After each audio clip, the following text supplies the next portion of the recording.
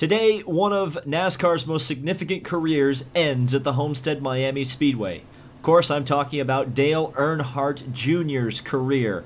And today we are going to pay tribute to Earnhardt's career by simulating his final race before he straps in for real to take his final green flag in the uh, NASCAR Cup Series. Of course, as you guys saw, uh, since the uh, Budweiser throwback scheme is not in the game as of uh, the Homestead race, we are going to take on the AC Delco throwback scheme which uh, Dale Jr. used in uh, the Darlington throwback race. And of course, we are racing at Homestead Miami Speedway, a 25% race, a full three stage simulation of the race that will be taking place. So, Let's see how far we can get up the field as Dale Earnhardt Jr. And just for fun, uh, those of you guys in the comments, pay attention to which of the uh, final four chasers are uh, ahead of each other throughout this race. I'll try to as well in my commentary, and we'll see who will theoretically win the championship as well. Here we go. All right, so coming down for the green in Dale Earnhardt Jr.'s final race. At least a simulation of it. We're already three wide on the outside. And getting up into the wall just a little bit as Derrike Cope didn't give us too much room. Apparently Derrike Cope, uh, a guy who was racing in the time of the uh, first Dale Earnhardt,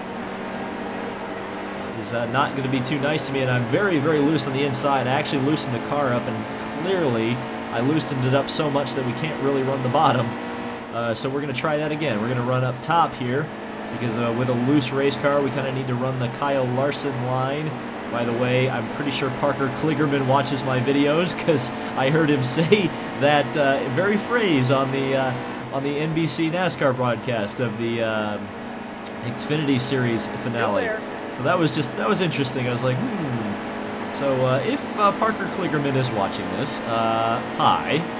Thanks for using my phrase. Next time, attribute your, your quotes. But anyway, we're starting to move up through the field here as uh, everybo's spreading out. I will say the AI on this track is absolutely fantastic. Um, it, this was the first track I ran at uh, when I first booted up the game, NASCAR Heat 2, and I have to say they did a really, really good job with it.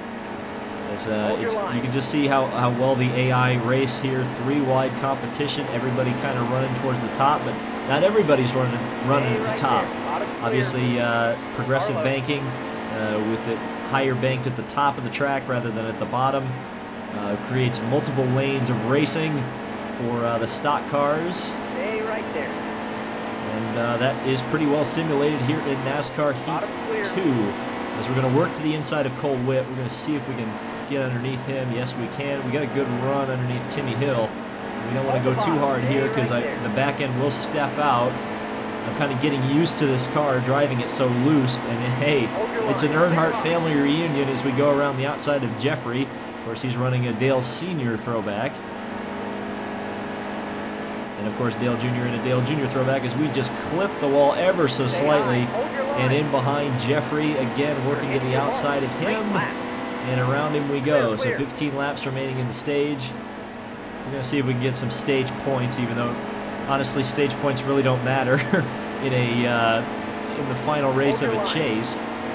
Unless, of course, I guess, uh, overall point standings, but uh, do those really matter anymore? As we work to the outside, make a little bit of contact with uh, Corey LaJoie.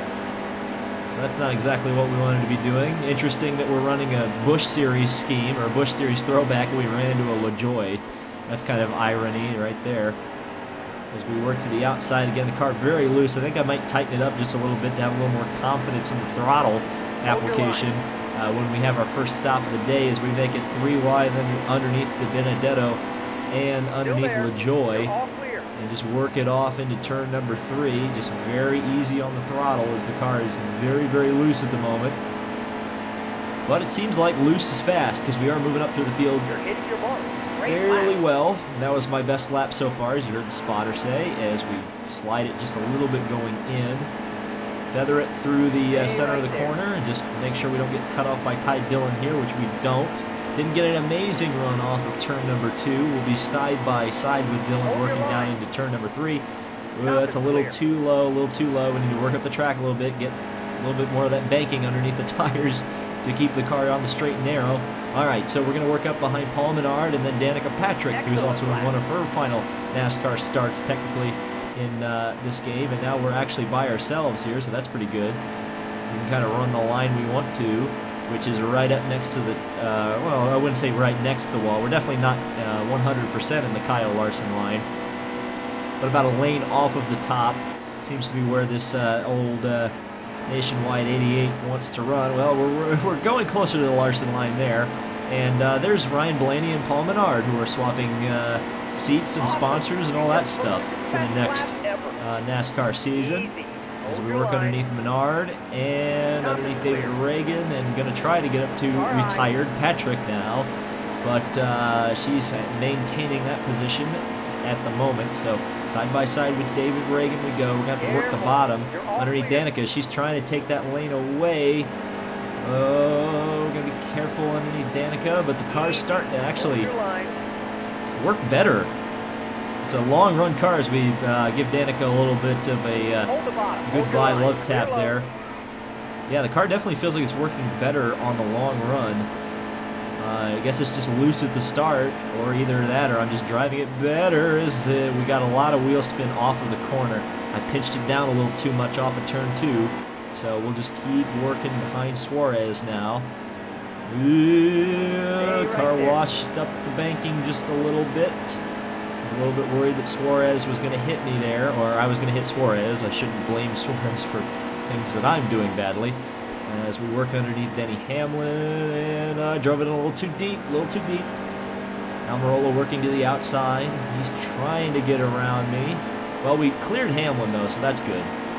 So we can get the focus in on the Smithfield here, working down to the inside. A little bit of contact with Almirola there. We're going to work down to the inside. And now we can power off at turn four. Let uh, the car have a little bit of its head there, which we did. I was actually going to use a little bit more racetrack, but it felt like the car finally gripped up there coming out of turn number uh, four, so I didn't worry too much about uh, giving it too much of uh, space there. As there's an angry horde up here with Trevor Bayne, Austin Dillon. I think Erik Jones is in this mix, possibly uh, Chase Elliott. We uh, drove it in pretty deep there, starting to work the throttle up the track. A little bit of Larson line going on there. Actually, uh, considering the Xfinity race, I should uh, I should say uh, it's probably the Sadler line if I hit the wall. Uh, as we work in behind uh, Matt Kenseth. Oh well, this is uh, oh this is awkward. Sorry, Matt. I'm gonna have to do better in my last NASCAR race than yours as we work by Kenseth and underneath Elliott as well. And now working down to the inside. Of Trevor Bayne and oh, we got pit stops. Clint Bowyer as well. So what the heck? Okay, so three laps remaining on the fuel, six laps to go in stage one. So we will need to pit. Interesting. I hadn't really considered that possibility. So I guess people are. Uh, that's weird. I, I'm surprised we're going to need to pit before the end of the first stage. That is interesting. Well, okay. Well, we've still got three laps left to fuel. How many laps are left in the stage, though? 14 and 19. So we're going to stay out. We're not going to go in with the rest of the field just yet. There's always a possibility that a yellow is going to come out. So Dale Earnhardt Jr. going to take the lead right across the line. The crowd goes nuts, as you would expect if that was if this is the result of his final race.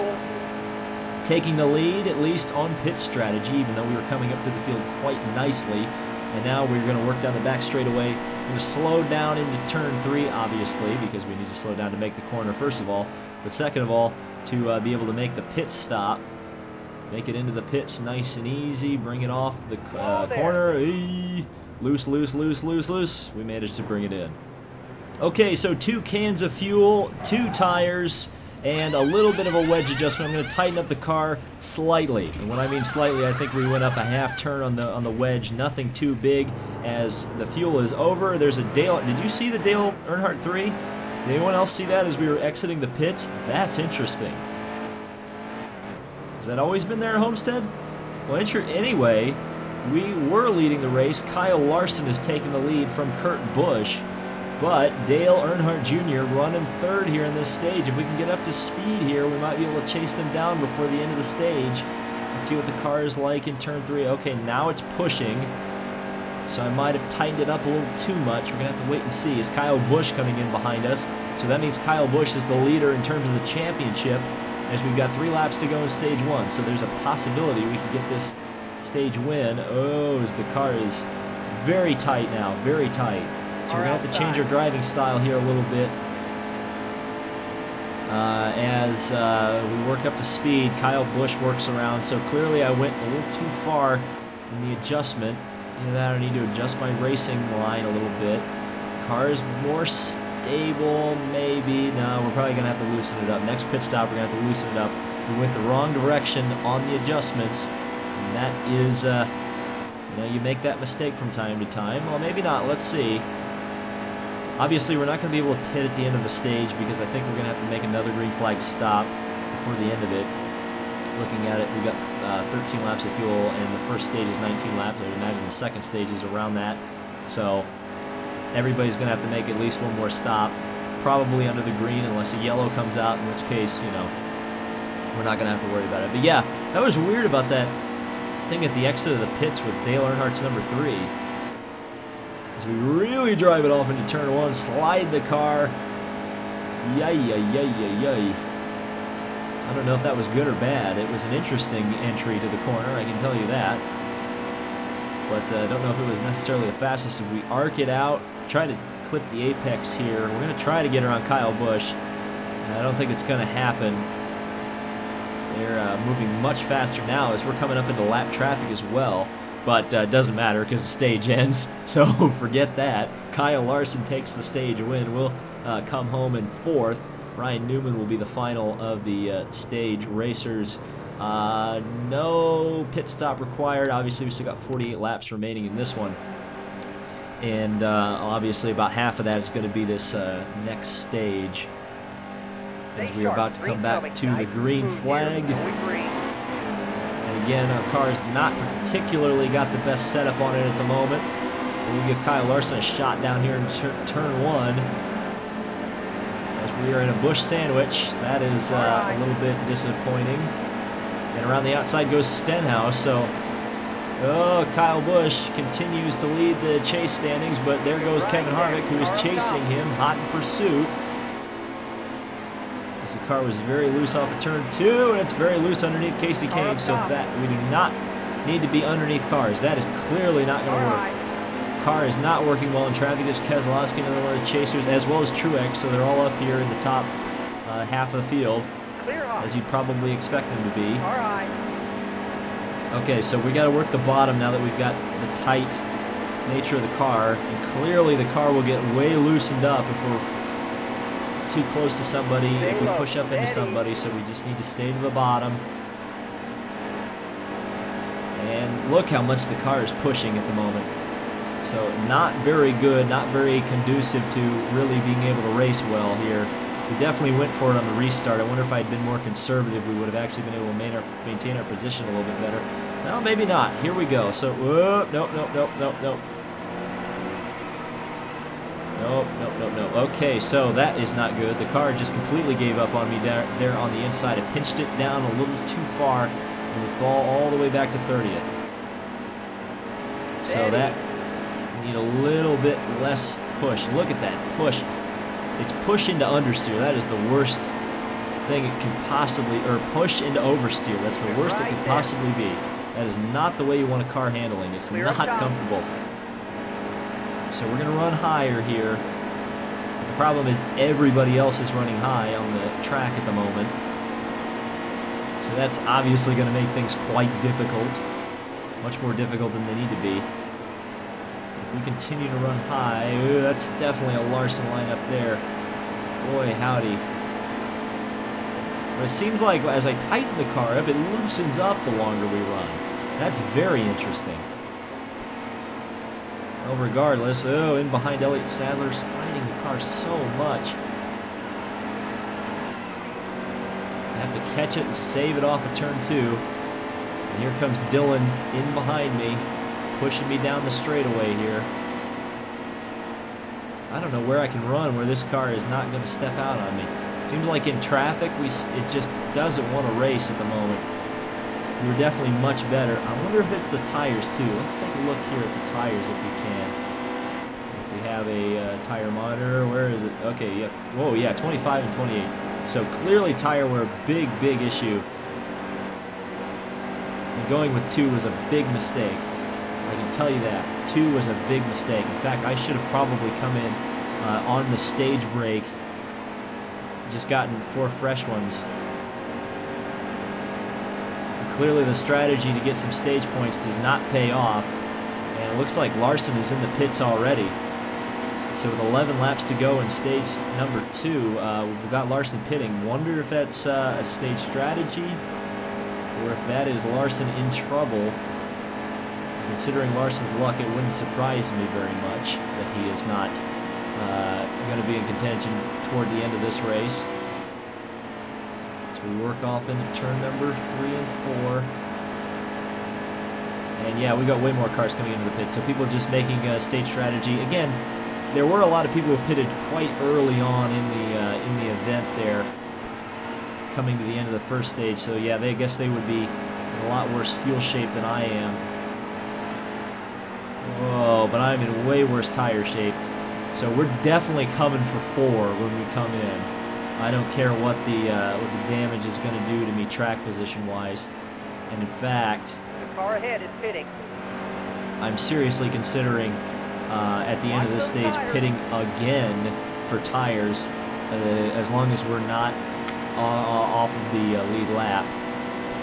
Which I'm a little bit concerned we'll lose the lead lap. But we'll see. Everybody's starting to move to the bottom. Oh, in a yellow. That uh, That's interesting. So not sure if that's going to screw us or not. Gotta make sure I don't run out of time here. Uh, there's 33 cars, 32 cars in the lead lap. We'll probably end up at the back, but whatever. Not a big deal. Four tires, fuel. Uh, we're going to loosen the car up slightly to try to get it back to where it was in the first stint of the race. So 18th, not too bad. Not too bad. Four tires and fuel, and that means we'll be able to make it to the end of stage number two.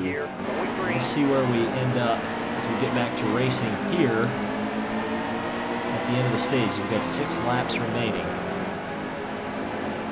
Car inside. Oh, that's not good. That's not good. That's not good. Save it, save it, save it, save it, save it. Oh, this is an Earnhardt. Well, okay. Oh, no. Oh, God. We both. Oh, no. Both. Oh, no. Oh, rip the Earnhardts. Oh, jeez Louise. That was the kind of family reunion you don't want to do. Wreck your uh, nephew? Isn't Jeffrey his nephew? Oh well. Um, whoa. This is not what I want to do. Okay, you know what? We're going to pit again. We're going to go for foreign fuel because we're going to only lose a couple positions.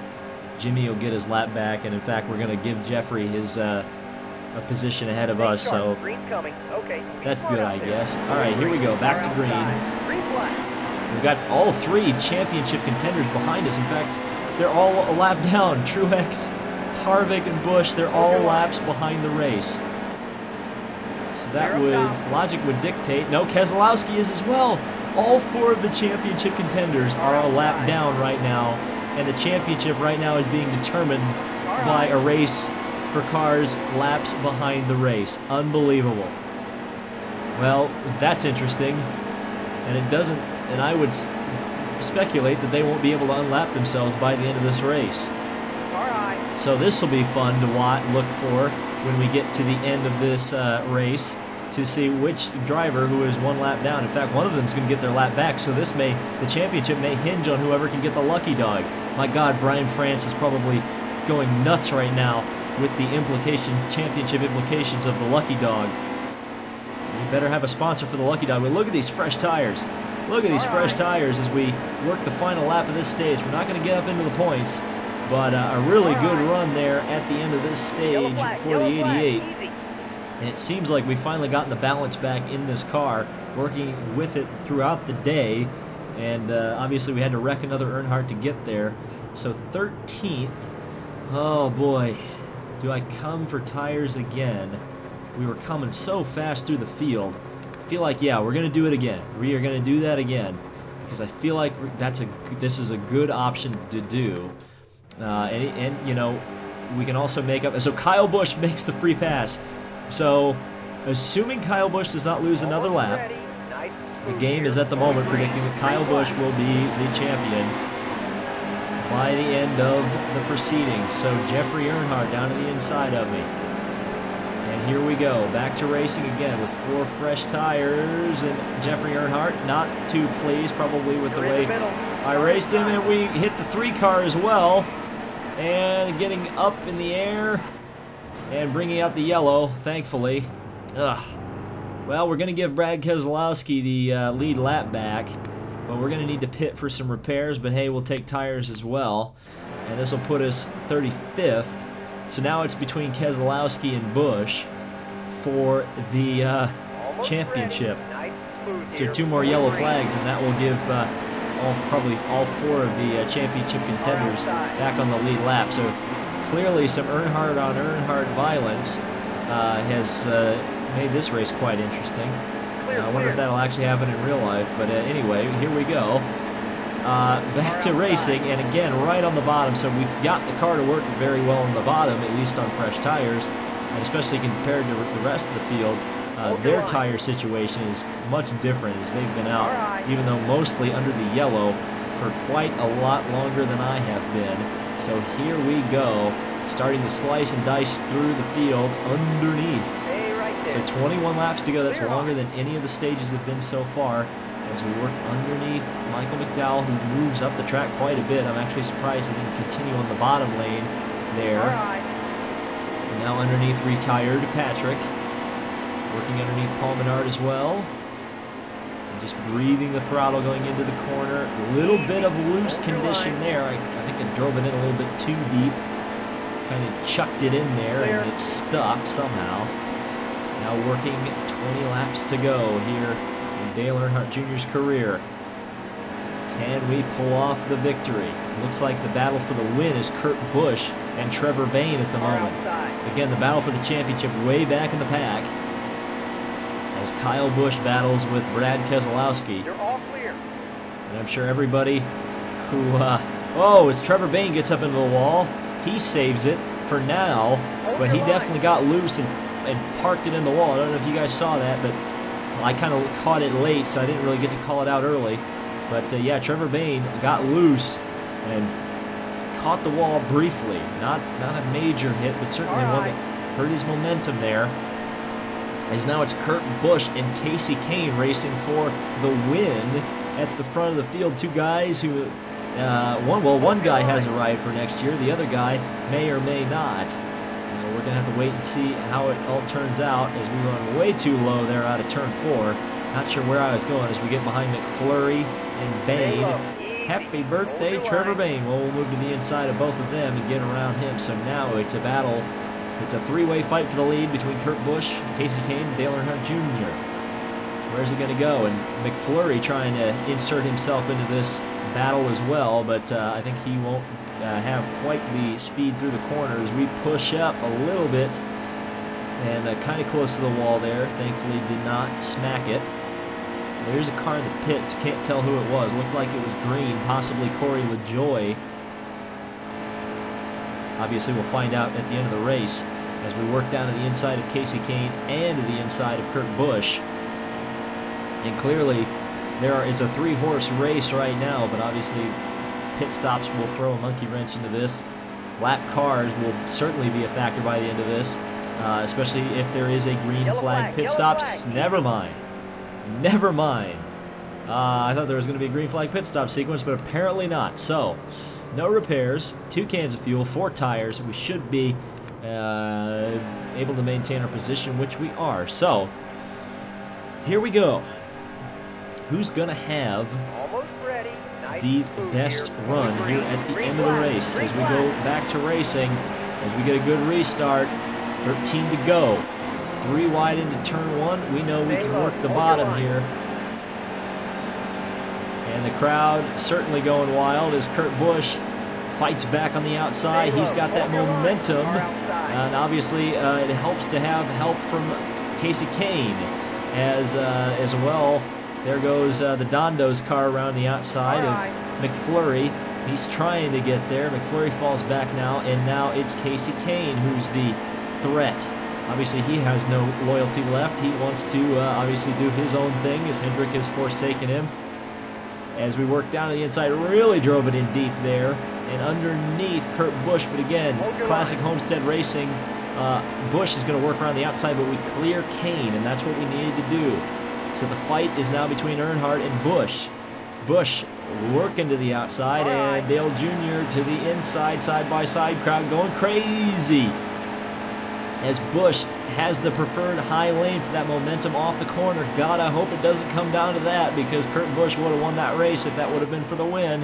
As we work down to the inside, take the lead back. Crowd probably going nuts. Yes, they are. I can hear them. And Busch still there. Kurt Busch working around the outside, and we're going to go side by side into turn three. See if we can drive it in real deep here. Think we got it. The crowd is absolutely going bananas as Dale Jr. coming off of turn four. 10 laps to go as we cross the line. That was Dale Jr. going to win in his send-off. All the Twitter people typing rigged in the chat right now. In fact, uh, we'll see come the end of this race how many rigged comments there are in the comments section. Uh, but here we go. Working down into turn number three. Trying to get this win for Dale Earnhardt Jr. in his final race. Seems like at the moment the car is working beautifully. We've got nine laps remaining in this one. Kurt Busch behind, chasing down Dale Earnhardt Jr. Is it going to happen? Stenhouse, Kay, McMurray, the other drivers involved in this fight at the front. But again, it's Junior making the move down the back straightaway and starting to pull out a gap. Six tenths of a second is the gap. One second to Kasey Kahne, and further on back, almost two seconds is the gap to McMurray. And everybody's working the top. Boy, if I was the rest of that field, I'd be starting to work the bottom unless everybody else is super, super loose.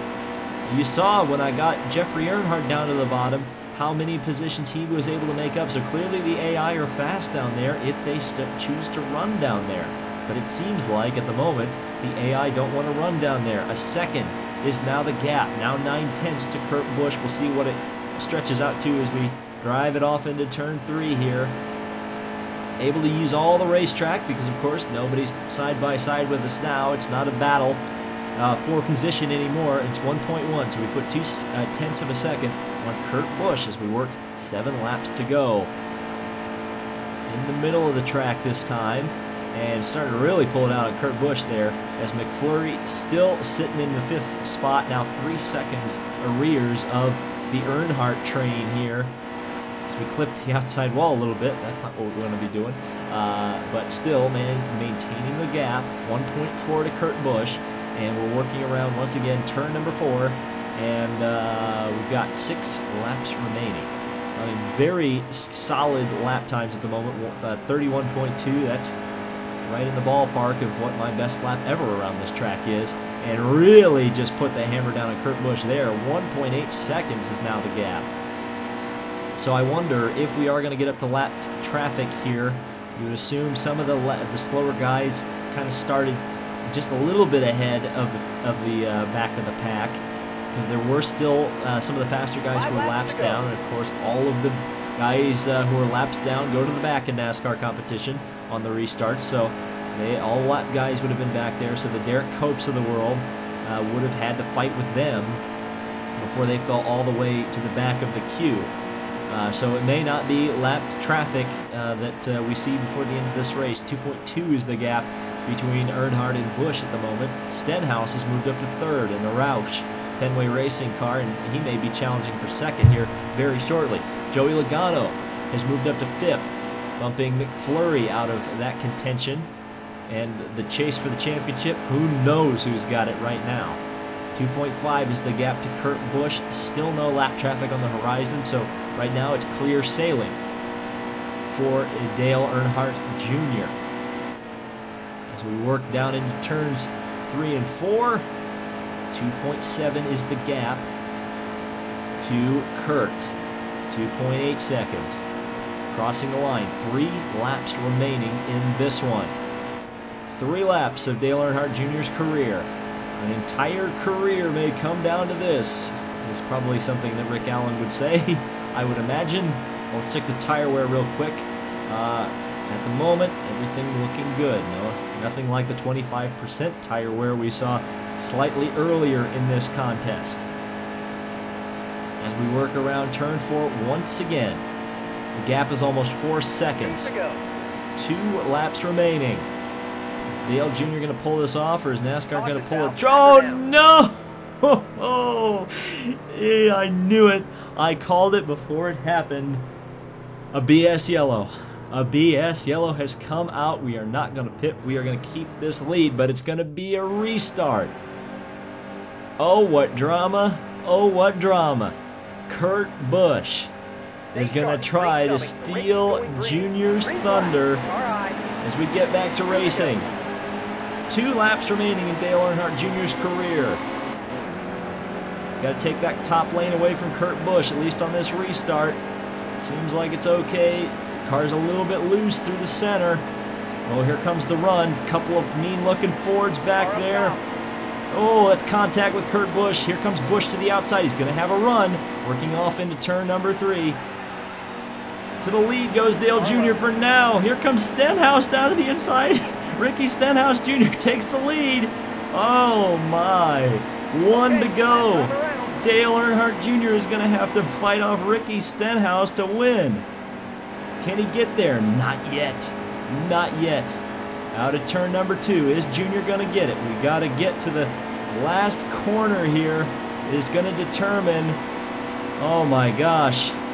Dale Earnhardt Jr.'s final race. He there. works down to the inside. Using lessons learned from his father, working up Stenhouse contact. No, Stenhouse is going to win it. Dale Jr. will come third in his final race. The storybook will get destroyed here at Homestead. All right, so let's check out that final restart, those final two laps. So dramatic, an incredibly dramatic finish here at Homestead, Miami. You can see as they work off into turn one, Dale is blocking the outside from Kurt Busch, and it's just two lanes of traffic, and the Pied Piper couldn't Pied Piper no more because Man, Ricky Stenhouse out Pied Piper, Dale Jr. here. Watch this as we work off into turn three. It looks like Jr. clears Busch, but in blocking Busch, he shot Stenhouse out of a cannon, and Stenhouse went around the outside. But the war was not over as Kurt Busch was all over the back of Dale Jr., working down into turn one. So this was Jr.'s chance. Work into the inside of Stenhouse, obviously not clear, couldn't drive it in deep enough really to get alongside him, and then out of the corner, gets up to his rear quarter panel, but not quite. Run down the backstretch in the draft, working to the outside, slicing down to the inside. Contact was made right here, had to use him up. Tried to just get him and tried to get him loose once again, but got himself loose and actually losing second place to Kurt Busch. So the results Ricky Stenhouse Jr. steals Dale Jr.'s thunder in the final race of his career, the championship. So Truex is back here. I don't think he was a factor, ironically. Boy, if he gets screwed out of that. Uh, looks like Kyle Busch. Maybe. No, maybe it was Brad Keselowski. Hold on, let's see. No, I think Brad Keselowski takes his second championship. We'll see. Yes, beating Kyle Busch by four positions. So the game has predicted that Dale Jr. will get denied on the final lap of the, his career for his final victory. Uh, and it also predicts that Brad Keselowski will win the championship. So let me know down in the comments what you think is going to happen at Homestead Miami Speedway and what you thought of this race. And if you enjoyed content like this, be sure to subscribe because there's a lot more coming. So thank you guys so much for watching. This has been David Land on YouTube. Enjoy Homestead, and we'll see you in the next video.